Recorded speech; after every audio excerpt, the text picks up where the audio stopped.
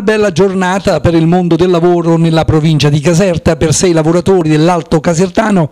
ai quali a giorni si apriranno le porte di un'azienda nell'ambito di un progetto finanziato dalla Regione Campania, Garanzia Over, il Centro per l'impiego di Piedimonte Matese e la Comind, affermata azienda di Alife, che produce sonde per airbag e altri numerosi pezzi elettronici per le auto Fiat.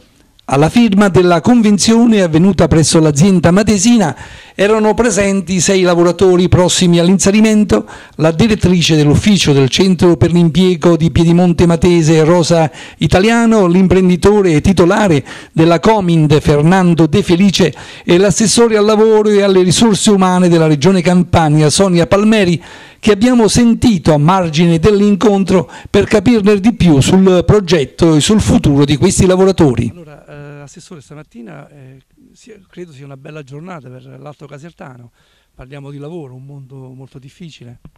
Beh sì, stamattina è iniziata proprio bene questa giornata, nel senso che abbiamo fatto veramente un grande applauso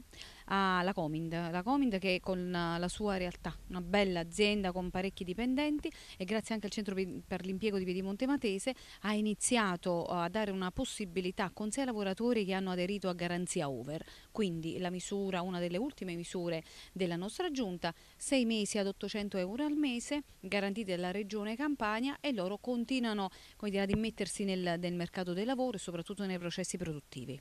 A livello regionale che, che altri progetti sono all'orizzonte? Eh, parliamo ovviamente sempre nell'ambito del lavoro.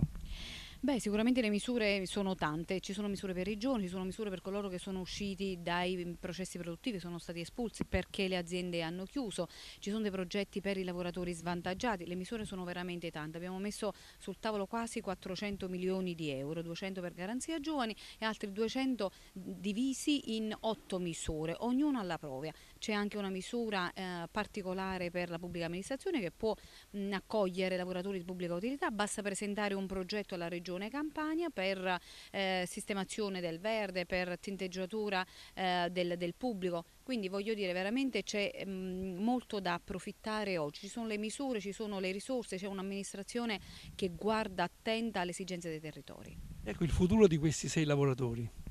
Beh, il futuro innanzitutto tre donne, tre uomini ehm, di mezza età, che oggi ricominciano di nuovo a sedersi ad una postazione di lavoro, pensavano magari eh, di essere oramai spacciati ad un futuro, voglio dire, tra le mura domestiche o comunque a cercare lavoro ed invece nella loro realtà, perché sono tutti vicini qui a Piedimonte ad Alife, eh, inizieranno il lavoro. Gli sarà loro affidato una giornata lavorativa e questa per sei mesi. Al termine, se l'imprenditore li vorrà assumere, come già fatto per ben cinque lavoratori di garanzia giovani,